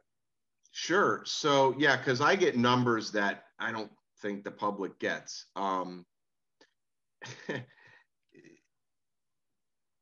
just to put things in perspective, I hate streaming. Yeah. Um, a lot of people love it. It's it's simple, it's convenient, yada yada. But for an artist, fifteen hundred streams equals one album sale. Okay. Christ. Um, and so when Queensryche, for example, uh, or any of the bands from the, the, the days that we love and miss, uh, were selling records. They they became platinum. For those that, that don't know what platinum is, that's a million records sold. Or gold is five hundred thousand. Platinum is a million. Diamond is ten million. They have not changed the certification standards for what is considered gold and platinum. It's still those numbers. Um, so only your really top uh, your top uh, artists like Beyonce, Jay Z, uh, probably what's her name, Billie Eilish, Eilish, yeah, whatever. yeah. Okay. Or that thing that does wet ass pussy or whatever. uh, Right. Okay. Stuff like you know, stuff like that is there. I don't know how many hard physical copies they're selling, but they're but now Billboard uh, is doing what's what they're is called they're cumulative. So they're combining um, physical copy sales, um, digital sales when you buy it on Amazon and there, you get an MP3 download, um, and then streams. Okay, and they also look at YouTube views, and it's a crazy, it's it's it's a mess. But so just to put things into perspective, Queensryche, which has sold, I don't know the numbers, between 20 and 30 million albums. Okay, our last record, well, the 2013 record, first week sales in the United States were about 13,000. Um, and we usually do about the same in Europe. Uh, I don't remember what condition human was. It was around probably 11 or 12, somewhere in there. The verdict uh, was like 8,200 um, first week. Okay. Some people hear that and they're like, that's it. But again, it's it is steadily on the decline where people are buying physical copy. Okay. So we are most grateful to every one of you that hears this that actually purchases the real thing. Mhm. Um, that being said, as a solo artist, my first record, I had no idea. I honestly, I was like, hey, if I can sell close to a thousand copies, I would be beyond thrilled with that. Okay. Yeah. Because because even when when a singer in a in a big band puts a solo record out, the numbers are never anywhere close to what the band Right. does anyway. Okay. Right. That's just a, a fact. So when the numbers came out, you know, we were looking at who did what. Um, and I remember like Schenker did 1600 the first week. The Dead Daisies did uh, 2300. Um, you know, yada yada. And so my numbers came out, and I was like, okay, what are they? Because they were released. It was uh, 4,331 for first week, and I Damn. went, holy, holy shit! Shit. These are like legit sales. I was like stoked for that. That's that's a big accomplishment in today's huge. climate, especially for. I mean, I was beating in sales. I was doing more sales than than. Oh, put it this way, Accept whom I love Yeah. did um, did 4,800 approximately. So I was only about 500 copies less than Yeah. the band Accept. And then each week, you know, they go down and they go down, they go down, and it was Right. 655. Right now, I'm at about 6,300. That's amazing, dude. Yeah, it's That's amazing, and it's only been out, you know, what a month and a half or whatever Yeah. it is. So I'm I'm really excited about that. And again, you know, we're still doing other videos, and people are just learning now. Mhm. Um, you know, if they're not in this world, you know, they're busy with life, and Right, right. finally pops up on their radar or oh here's a suggestion for you and they don't know and you know i don't have a name like sting or prince or Right. you know it's just todd La Torre. so Yeah. unless if you don't know queensryche you don't probably know who i am um, and so you know i i'm kind of i was hopeful to branch i mean obviously to have the queensryche audience uh, give this a try. That's my initial base, which is great. Uh, some people have said, "Oh, it's too heavy for me," and and they didn't like, you know, it was a little much for them. That's fine. but I'm really hope was hoping to break out away. I mean, whatever Queensryche audience likes it, awesome. But I, I was really hoping to to gain new listeners in the thrash audience, Right. um, and and kind of expand my uh, demographic, if you will. And so a lot of people are even even in like the the black metal world or the death world that hear the song one by one, which is full blown gutturals. Mhm. You know, it, they're and uh, and I love doing stuff like that. So just showing, okay, I can do this, I can do that. I'm not just singing, you know, I don't believe in love or Jet City Woman. I Right, can do. right. I mean, there's still Queen of the Reich and some heavy heavier Yeah. stuff, but um, yeah, it's the sales have been really, really great. And again, unless you're in the business, that might not sound like an impressive number to to you, Right. but it, it really is. Look, we're we're the underdog genre, Mhm. and and and but but it's a loyal it's a loyal audience that loves you know heavy metal in particular. That um, I don't know that somebody who loves Justin Bieber, for example, now in 20 years are are going to be you know love him that much. Maybe there are. I, I don't know, but I know that the rock world it, it's it's um it's so dev- they're so devout especially when you travel abroad and go to Europe and you play festivals like Wacken where there's 80 plus thousand people and they are just diehards for this stuff. And so um, I'm super thankful for people checking it out and I hope that they like it and they're they're telling their friends and uh, yeah, I think it's going to be a good contender and cut through a lot of the noise. We putting it out in February to me was perfect. And and another thing, um, Izzy, is that it was the release wasn't contingent on touring. Mhm. So a lot of bands they want to release the record right when the tour starts. Right.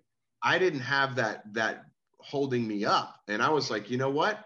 We're gonna put it out. Let's let the election get over with, and then we'll put it out in February.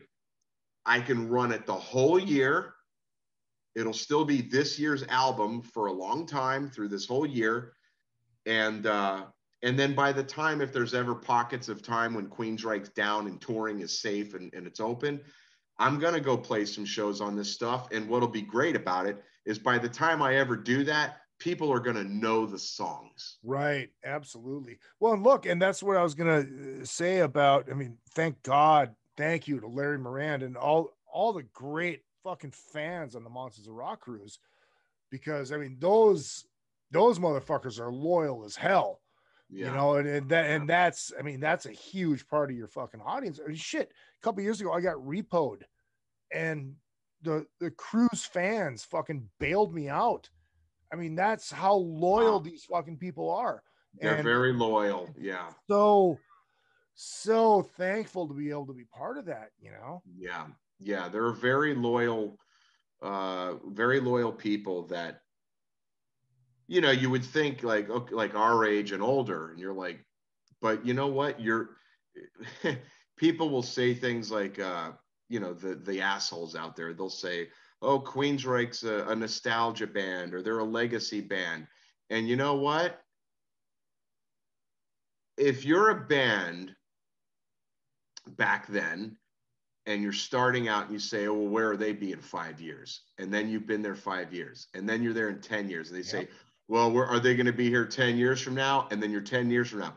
At what point does that's like what you want is that longevity? You've stood the test of time. Once you've stood the test of time, then people will be like, oh, you know, they're they're a, a, a nostalgia band. But you know what? We sell memories we sell Exactly. me- we sell memories and and and, and but we still but we still write and create new records and a lot mm-hmm. of people will say to us hey we love take hold of the flame we love jet city woman and eyes of a stranger and empire but we've heard these songs for 30 years can you put some newer stuff into the set they want to hear the new stuff and uh, I mean, there's some bands that if they never write a new song, I I'm fine with. but but if a band like Slayer puts a new album, I want to hear it. Right, right. Well, and there's that's other bands. Uh, look, know, Todd, if- and that hold on. I mean that, and that's that's a it's a different mentality because you know how it is. A lot of time, bands will play that new song, and that's the I got to throw a whiz. I got to get a beer. Break. you know Yeah, I mean? yeah, and, and But that Well- that even goes back to the seventies. Zeppelin used to fuck like they would open with Kashmir before the record came out, and people would go get fucking beers because they didn't know the song. This is a true story. Uh, there's been people that wow. talked about it. You know. but you know what? It's like it's like okay, how do you how do you pacify? You're never going to please everyone, right? Right, if- If you just if you just play all the popular songs, then the people are like, "Wow, I guess you don't believe in your new music because you're not playing any of, of it." Right. right? And so we're like, no, we want to play a handful of new songs and we're going to give you deep cuts and we're going to play stuff off the first five or six records too. Right. And so, you know, that that big hit that you want to hear, it's probably coming later, but w- you know, we are also not just resting on the laurels of the past, we are promoting new music and we put a lot into that. So uh, it, but you know what? There is no shame in playing a song that takes you back to that sweet time in your car with your first girlfriend or boyfriend Mm-hmm. and and you're hanging with your buddies and you had time was on your side and life was simpler and it was just it that's such a good feeling it's like when you smell something and it connects yep, in your brain and and it takes you right back to a time music does the same thing. So i have no shame in someone saying oh they're they're a nostalgia. Well fucking nostalgia is amazing. And without mm-hmm. it then memories mean jack shit. So we sell memories and we also give you new stuff. And not a lot of bands can say that. Yep. And So- look, dude, it, it, look, it brings me back to, I mean, that stack of cassettes that I got today. Van Halen 1, sitting at Lake George in my fucking 74 Maroon Fire Chicken, my very first fucking car, listening to fucking Van Halen 1 on cassette. You know, just Yeah. watching people walk, watching the girls, and just everybody bullshitting and sitting in my car listening to fucking Van Halen 1. that's so awesome That's what it's all dude about. i i was dri- i was driving in the car the other day and i heard the song um when you close your eyes Oh, yeah, you Night Ranger. dream about me and i was like and then it goes you know the big Yeah. and i was like oh god it just it was like yes you know Yeah.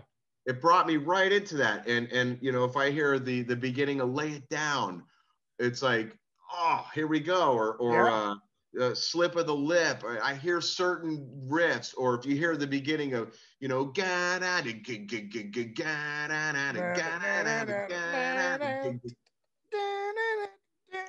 Oh, yeah. I hear that, you know, that bass line.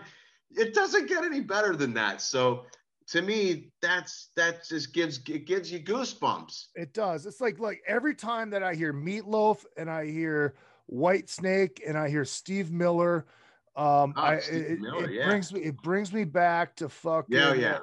We so we like in high school, you know, uh, all we did was cruise division and go to city billiards and sitting there and fucking smoke cigarettes and play the jukebox, and that's all it was was fucking Meatloaf and fucking Whitesnake and fucking Steve Miller, and then I hear fucking AC/DC and it and Skynyrd, and it brings me to the fucking uh, bonfire parties, listening to the greatest hits, Skynyrd Skynyrd's Innyrds and fucking Back in Black, and Oh and, yeah. like it's it like you said, it's nostalgia, and nostalgia's not a bad thing. Everybody's like, "You're old." Fuck that, dude. That brings us back summer. Fuck, like going back to the beginning of the show. Every time I hear the fucking twist, I picture myself in fifth grade on that stage. I remember Chubby pulling me up, and it, uh, body, bouncer came over and helped him pull me up and you know doing the twist. And my mom worked there. She she was side stage she took a picture but there was a fat lady in front of her. And back in the 80s you know what a fat lady was. Not like they're fat now like me but it so she couldn't see me. But it's it, that it brings me back? it brings Janet you back. Oh, Dude, if you I listen to songs like um uh straight from the heart, tell me we can make one more stop. Yeah. No, I'll never know. Oh, you hear that old So Bryan good. Adams, or I'll hear like, you know, doo-doo, doo-doo, da, doo-doo, doo-doo, Yeah. keeps on slipping, slipping. And you hear that, you know, that Yeah. trippy sound, or like uh what's the song? Uh She's just 16 years old. Leave her alone. you know, I Yeah. hear that and I'm like, oh man, that's that's so good songwriting. So yeah, Yeah. the nostalgia stuff, but the reason why we went into the I went into this whole thing here is the people that go on those cruises, they feel that too yep and they get to see okay i'm not the original guy but they Yeah. get to hear those songs and they get to re they get to feel young again yep and I mean it's all about. doesn't want to feel young again it's our escape totally really it's our therapy dude hmm And know? uh, with this record, watch this. This is how good I am. And with this record, Rejoice in the Suffering, which you can get on Rat Pak Records, tell them what she's won harvey it brings it brings you back to that time in your life when you're reaching for the stars while keeping your feet on the ground. Ah, Because yeah. you know, there, there's some metal that I listen to and it's like really dark and and it it's like a different headspace. Yeah. And then there's other stuff that's that's metal that gets me that's like happy angry. Like you know what I if Yeah, that sounds like an oxymoron, but it's like that that fight, right? That fuck yeah. And like that's how I hear when I hear like painkiller, right? Yeah. Like that kind of vibe. The songs on this record make me feel like that they make me feel like yeah you know this is this is like a good heaviness it's not like depressing heavy this Right. is like you know want to get in a pit and beat the fuck out of someone happy Exactly. Todd, dude, this is a fucking blast. I'm Yeah, glad man. we finally got to do this one on one. I've been bugging you for how many fucking years? I mean, don't, and you know what I'll, i'm gonna send you that that that shirt and uh and and i hope that you that you, you get the get the cassette soon and and I can't that. wait. I can't. thanks for like promoting the record and giving me the love on your platform and uh you know i hope to see you again in the near future too man you know i don't i don't uh it's you know touch and go right now i don't know if you're are you going to be on the kiss cruise are you doing that No, no, no. That's uh, that's out that's out of my range of territories. Uh, Oh, okay, Going okay. back to old going back to old school wrestling days. That's uh that's not my territory. That's another territory. You know. Okay. so uh, but yeah, but dude, I, I look I really appreciate it. I mean, fuck we we go back a couple years. I mean, you judge the several years now Several years, yeah. I mean, you judge the Gong Show, and the fact that you can sing like you do. I, mean, I don't know if you still smoke or not, but fucking, we're out there puffing heaters, and I'm like, Jesus fucking Christ, you smoke? Holy fuck! pavarotti smoked two or three packs a day you Yeah. know it's it, it dio dio smoked Really? I know he smoked weed. Um, uh, you know, Fabio Lione, who's an awesome singer. That guy, you know, he smokes a lot. I mean, whatever, dude. yeah, man. Fucking life's too short. Enjoy a fucking enjoy a fucking cowboy kill. I don't drink. I've never been drunk in my life ever. really. Dude, I've never been drunk. You've consumed more alcohol on this show than I ever have in my Uh, life. Uh, Gene Gene Simmons is very proud of you. I've never I've never even smoked weed. I've never tried any drugs other than nicotine. And um you know, because I, I have an addictive personality. Oh, I and, know. And I and I, know, know. I know that if I tried uh if I tried something that I really liked, I would be I would be a junkie. Like, yeah, stay look. So stay away from the booze because it starts out with a couple beers, Then all of a sudden you turn into Sebastian Bach. Dude, there was Jack Daniels and cocaine. Todd La Torre, dude, thank you so much. Uh, people want to find you on social. Um, yeah. So, uh, yeah. So I have a, a Facebook page. It's an artist page. It's it's. I don't know if it's Todd La Torre official or official Todd La Torre, but you can find me there. I have a Twitter page as well. Um, I do not have Instagram. I'm still like holding out and detesting it, and like fuck that. hey, it's not like a Snapchat. I know, but I, so, so those are the two. But I I on, I have a new website. It's very simple. It's toddlatorre.com, and I have available merch. I have some really cool, unique bundles with signed album flats. You can get the cassette. I have T-shirts. Um, I've already seen like a few companies bootlegging my shirts, which really fucking pisses me off. So if you want to go get official, the only place you can get my legit merch is off my website. Click the shop tab. It'll be district lines. Um, and you can get, and the shirts that I have are like, re- you'll see when I send you the shirt. I dude. can't wait, dude. I can't it's wait. super soft. It's not some really stiff Gildan shirt you're never going to want to wear. Um, Uh, yeah, you're getting so a, that's you're getting it. A, you're getting a jersey tee, by the way. So you're getting one Oh, of those. right on. Perfect. I, Black sleeves, white front, and the old school 70s font. It just says another effing podcast. perfect. I will proudly wear it. Fucking love it. All right, hold on. Uh, hold on really quick. We'll say goodbye off the air. Let me hit the outro music. Thank you, everybody, for checking in. Look, Jennifer says, great interview. Uh, Bond Star, in, amazing interview. Thank you. Uh, Lori, everybody's freaking out the fact that you smoke and sing like that. fucking Robin Zander, fucking metal style. God bless him. Uh, Scotty Strickland says it's been an awesome show. Thank you guys. Thank you guys. Make sure you go to buy his stuff. Go buy his stuff. And yes, Lori, it is available on vinyl. You can get it on actually colored vinyl. My It's white, limited I- white. my record player does not like colored vinyl, which is one of the reasons I got the cassette. But I will order the colored vinyl as well, just so I can have it and play it once I get a new It's record. a double. It's a double vinyl, and you can get it. You can get the, the double, just the vinyl through Rat Pak Records. But yeah, There you go. There you go. Uh, so next week, Joel Hoekstra working on one more guest as well. And uh, make sure you hit up all the social at Real Izzy Presley, all the way across our Twitter, Instagram, Facebook, and of course the Metal Edge uh, uh, uh, Facebook page, Metal Edge Magazine. Hit it all up. My name's Izzy Presley. We'll see you next week.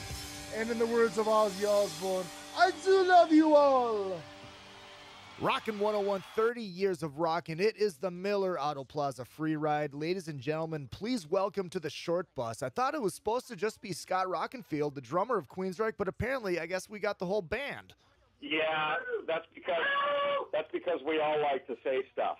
Well, that's good. So That's once good. they found out, that's the deal. But anyway, listen, man, thanks for having us on the show today, and uh, we're looking forward to the gig this weekend. Oh, we're I'm personally looking forward to it too, because uh, the Queensryche that I'm a fan of is the old stuff, and from what I hear, with Todd, you're doing a lot of the old stuff. That, that's correct, man. We're we're really looking at um, you know to dig deep into our past, and that's what we've been working on is you know bringing back the old classics that uh, you know our fans have wanted to hear for a long time, and that um, you know we just haven't presented the way we wanted to uh, it for a long time. So it's been a lot of fun for us to revisit this stuff, and uh, I think the fans are going to be in for a real treat. You know, we're just it's it's bringing the metal back to our Que- Queensryche fans, and that's what we're going to do this weekend. And uh, we just hope everybody has a good time.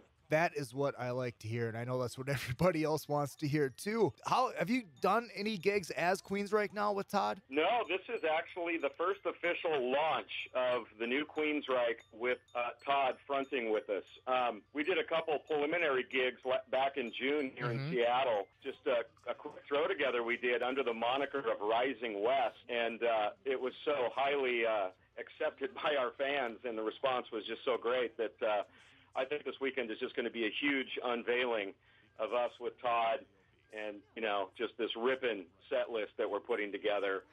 Um, so no, this is a whole unique, you know, first time situation coming this weekend. That's awesome, and that that's really cool that we get the first one. Something to be proud of, so to speak. I, I know it's a ways off now, but have you guys thought about new material, Todd, or is that just something you're just going to let happen if it happens? Uh, yeah, actually, we're writing material every day. We've, we've got a lot of stuff in the works, and uh, everybody kind of writes individually and then collectively, and you know, every single day we're creating new stuff. So it's very exciting. Is this Todd that I'm hearing right now? Todd, yeah, I, I thought you said Todd, so here I am. Oh, I was just talking generally. So yes, that was Todd La- Latore, correct? This is Todd, yes.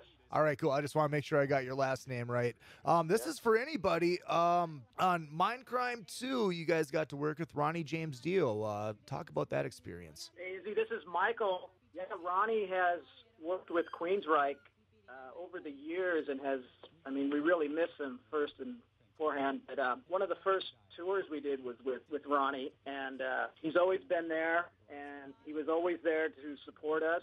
And uh, uh, it was just a, a great opportunity that he was available to uh, help enhance uh, that song on that Mindcrime 2 record.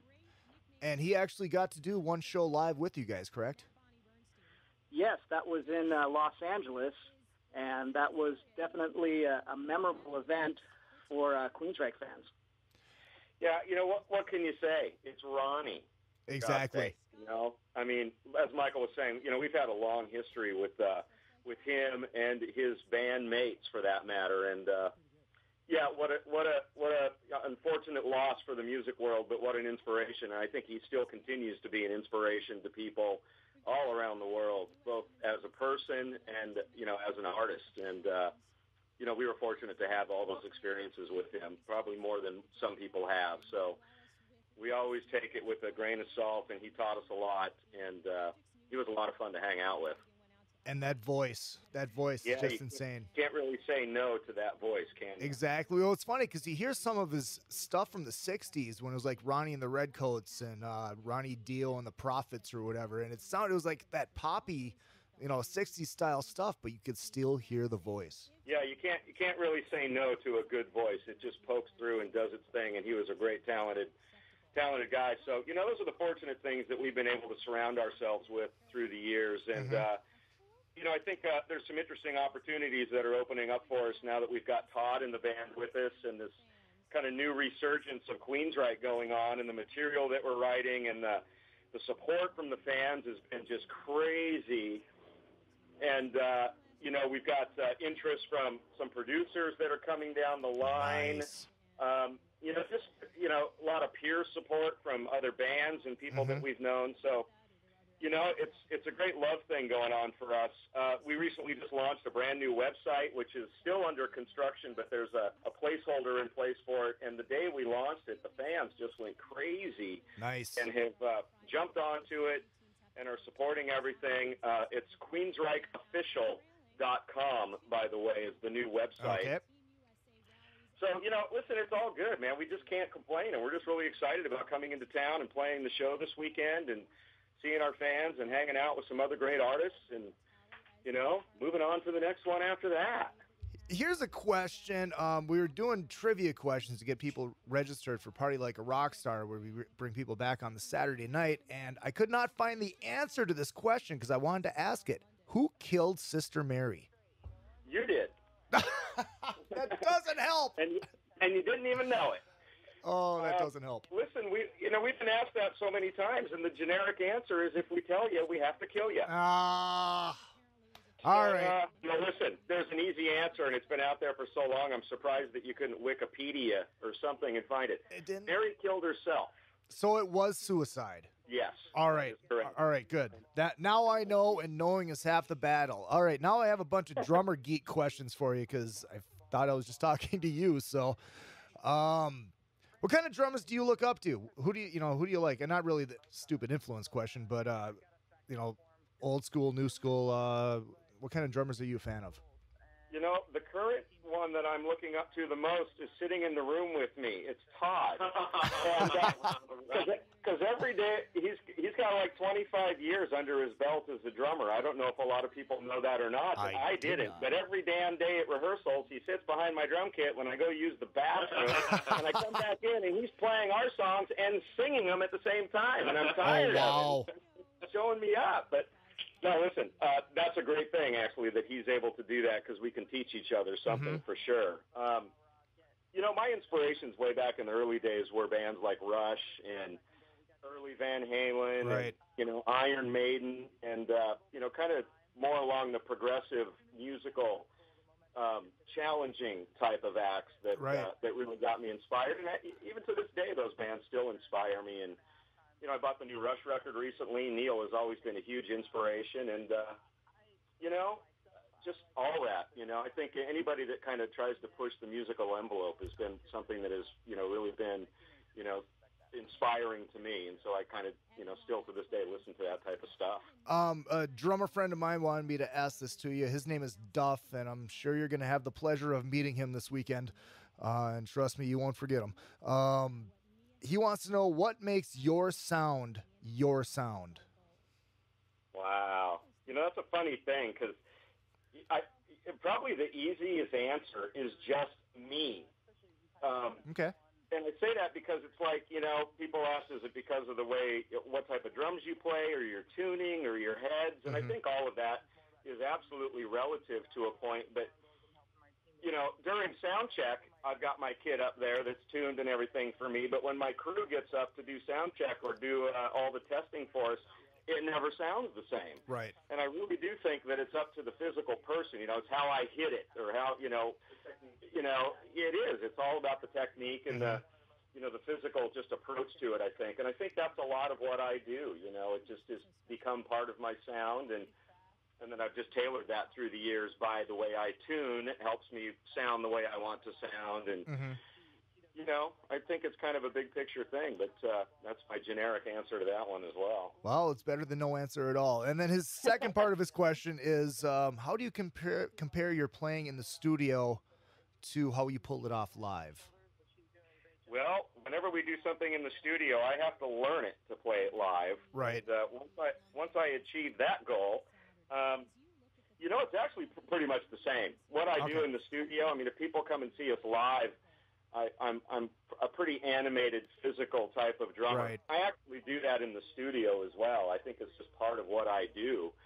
Um, and you know, so I, I I try to keep them, you know, I think somewhat similar. That way, it's easier for me not to have to, you know, think two different ways. I just approach the drums when I sit down. I just do what I do, whether it's in the studio or live, and so far it's worked for me after 30 years. Well, and you know that's the thing, especially with what you guys do. You pull it off live very well, and it's that's not an easy task, so to speak. Um, Scott and everybody in Queensryche, thank you guys so much. Um, so much. So look forward to the show on Saturday night. Look forward to shaking your hands and maybe having a beer. Um, you want to pimp the website one more time? Yeah, absolutely. It's uh, www.queensrycheofficial.com. And uh, there's a mailing list that uh, our fans and stuff can get on. And uh, soon enough, we'll have the rest of the website complete. Uh, we're working on it now, so it's a it's a lot of motion going on these Right. days. Great stuff. Listen, thank you as well. We are very excited about the show this weekend. It's going to be a lot of fun. We're playing some great material that our fans are really going to enjoy, and we're really looking forward to seeing everybody. And we will definitely take you up on that beer that you're offering to buy for all of us. That is what I like to hear. And as I'm going out, give me a song. Which one do you guys want to hear? The Needle Lies. All right, you got it. Nice.